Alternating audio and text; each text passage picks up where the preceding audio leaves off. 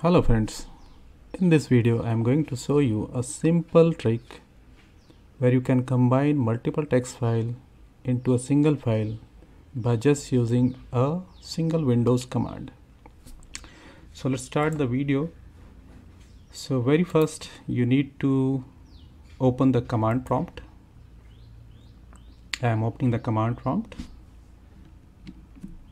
and uh, just type cmd in the run and you'll be able to see the command prompt.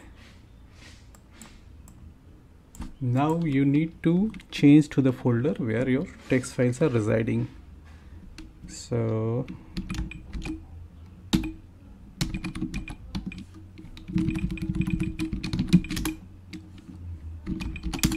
so now I am into the folder where my text files are so let's see what files are there. So I have four text files. File 1 2 3 and 4 having text extension. So to combine these files you just need to enter this command. Just type copy then star dot txt and after this give the name of the target file you want. So let's say I'm giving target file as target.txt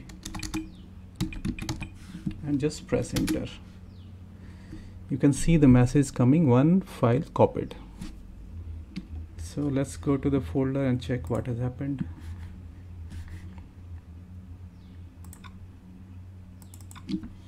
so now you can see there are five files including target.txt file.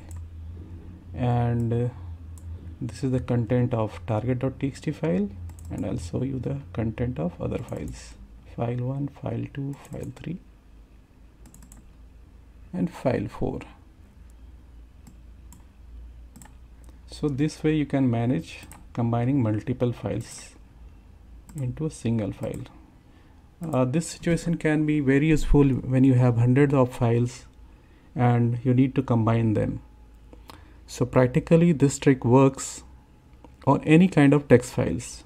Text files, uh, I mean, uh, it can be of type text, having a text content like CSV files, log files, HTML files, and etc